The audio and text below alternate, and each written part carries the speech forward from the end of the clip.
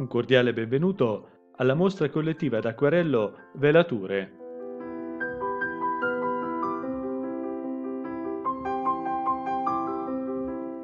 Il titolo della rassegna vuole essere sia sinonimo di uno svelamento, quello della speranza in un futuro migliore rispetto al presente che stiamo vivendo, sia perché le velature sono un elemento fondamentale dell'acquerello.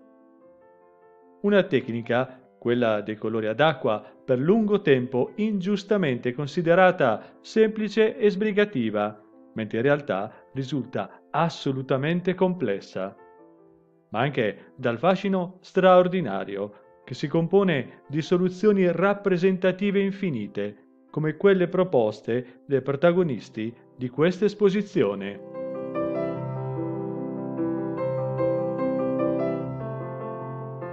Non c'è dubbio che ritrovare paesaggi, scenari e naturalmente città dopo il lockdown sia un'emozione forte e intensa. Lo dimostrano gli acquarelli con cui si apre questa rassegna.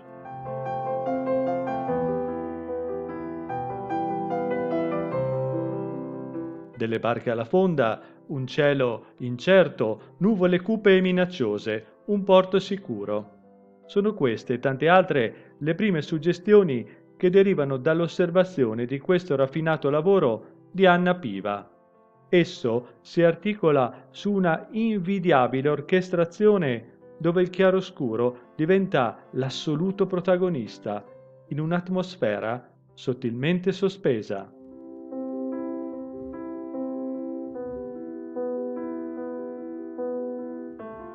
Una pacata e serena tranquillità è il fulcro vitale e vivifico di questa preziosa carta d'acquarello di Giorgio Almelloni, nella quale traspare dalle limpide e ben scandite velature il fascino immutabile dell'isola dei pescatori, tra le più celebri del lago Maggiore.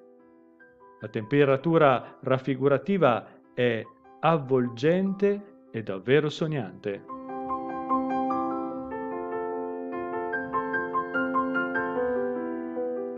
Certi tramonti che ci appaiono all'improvviso sono talmente intensi e vibranti che sembrano quasi irreali. Lo dimostra questa eccellente prova acquerellistica di Isa Scacca Barozzi, in cui i riflessi della vegetazione nell'acqua ci conducono direttamente verso un'atmosfera modulatamente onirica, resa con una pennellata sciolta e seducente che mira a evidenziare il fascino della natura.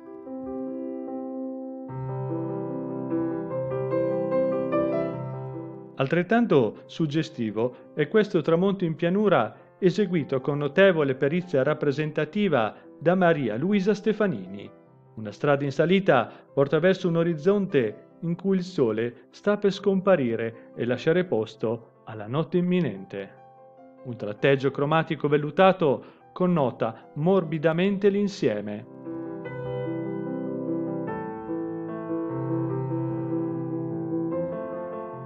Venezia rinasce.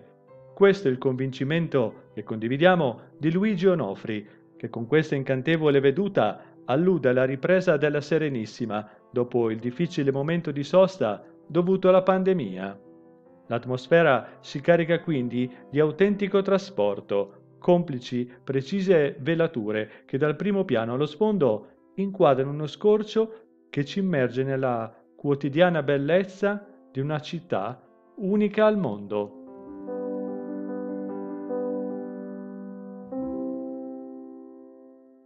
Restiamo a Venezia con uno scorcio insolito di Tiziana Mazzucato che riprende con tocchi morbidi e dolcissimi la quiete e il silenzio che si respirano all'interno di un rio attraversato da un'acqua insolitamente placida.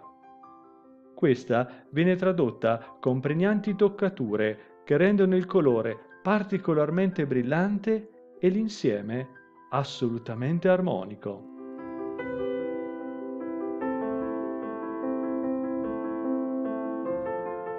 La solare pittura di Nicoletta Gentili ci porta ad apprezzare uno scorcio di Parma, precisamente la veduta della pilotta dal Ponte Verdi. Il piano osservativo si distende alla vista secondo una progressione dovuta al pigmento, Esso si distribuisce setoso lungo il foglio e consente di apprezzare particolari dettagli alquanto intriganti, consentendo così un'esplorazione davvero d'ampio raggio.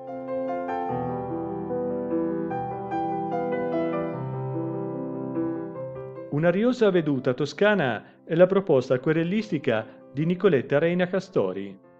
Al centro di una molle collina fasciata da una coltre quasi palpabile si staglia un eremo, custodito da una fitta vegetazione, mentre tutto attorno ogni cosa svapora, quasi a rendere l'insieme a metà strada fra realtà e immaginazione, un insieme in cui immergersi completamente.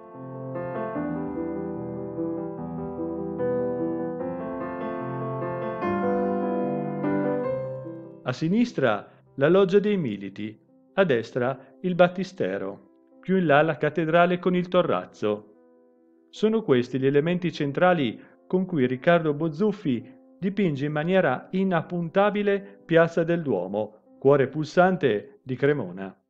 Una visione dal basso verso l'alto davvero intensa, condotta secondo precise linee prospettiche.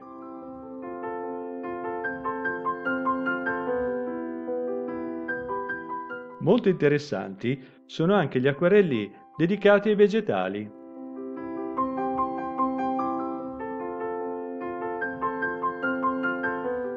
Once upon a time in my garden. C'era una volta nel mio giardino. Sembra l'inizio di una fiaba. In un certo senso lo è se si osservano le smaglianti cromie con cui Lorenza Aldrighetti definisce la ricca vegetazione che, in modo spumeggiante e vitale, si presenta davanti allo sguardo dell'osservatore. Siamo davanti a una pura contemplazione statica della incommensurabile bellezza della natura.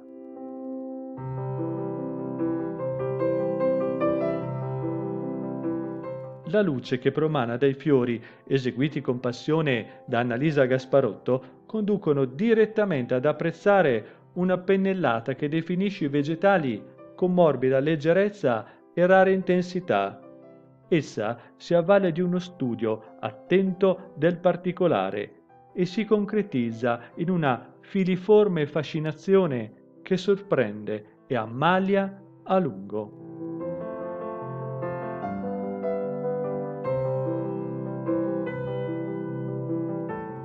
Anna Semeraro conduce per mano l'osservatore alla scoperta di un delicato vegetale. Lo fa appoggiandosi alla bella regola dell'acquerellare per cui dipingere con l'acquerello è girare attorno al bianco della carta. Il risultato è assolutamente godibile, connotato da una poesia immaginativa sottile ed intensa, riflesso della sensibilità di Sam.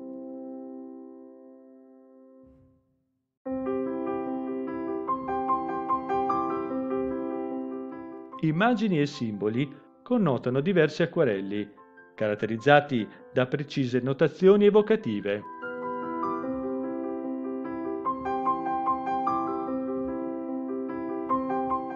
È impossibile non lasciarsi sedurre dalla incantevole dolcezza di questa deliziosa bambina che osserva, divertita e meravigliata, cosa accade sopra la sua testa alzando gli occhi. Un sorriso coinvolgente il suo, reso come l'insieme da Pamela Stracci con notevole ed invidiabile capacità metanarrativa, tanto da portare alla ribalta, velatura dopo velatura, una raffigurazione emozionante e assolutamente sincera.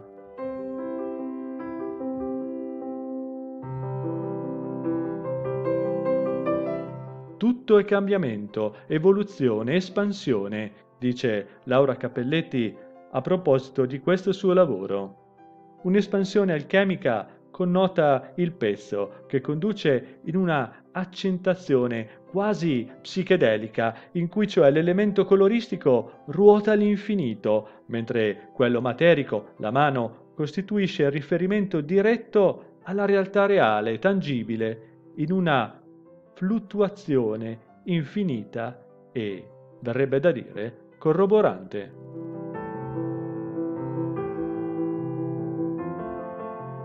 il ricordo di un'amica musicista lontana e la voglia di riabbracciarla presto, dopo il periodo pandemico, è il motivo che ha spinto Mara Corfini a realizzare questo acquerello. La pittrice toscana omaggia Zoya con un'opera fresca e avvolgente, in cui il pigmento scivola nei solchi della carta, dando vita a un'espressività intensa e palpitante, come le conchiglie e il mare sullo sfondo.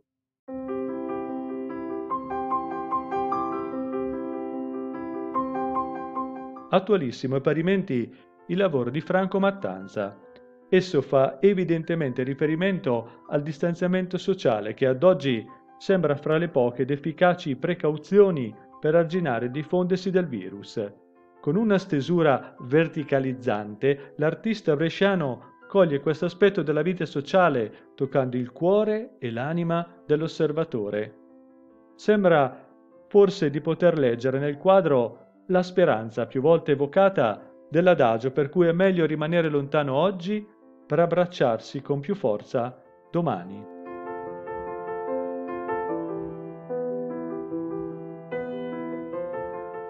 Una mandria di cavalli che corre al tramonto sulla spiaggia. I destrieri sono dipinti nel loro vigore da Sabrina Ravani. Sono anch'essi l'emblema di una libertà preziosa, in parte ritrovata. Lo è in questo movimento, dipinto con linee acute ficcanti dalla pittrice, in cui si respira quella voglia di ricominciare, di andare avanti col procedere certo e senza pentimenti di questi cavalli, definiti grazie anche ad una brillante accentazione dinamica.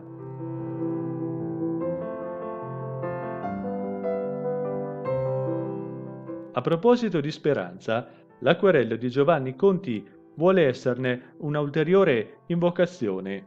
Il nuovo mondo a cui si affacciano due figure che appaiono all'alba, sembra dirci il pittore, non è infatti inedito, ma è quello che si prospetta a chi, dopo un'esperienza come quella della diffusione del Covid-19, deve trovare la forza e il coraggio per ricominciare, guardando al futuro con occhi nuovi, occhi diversi, a cominciare da ciò che gli sta più vicino la natura.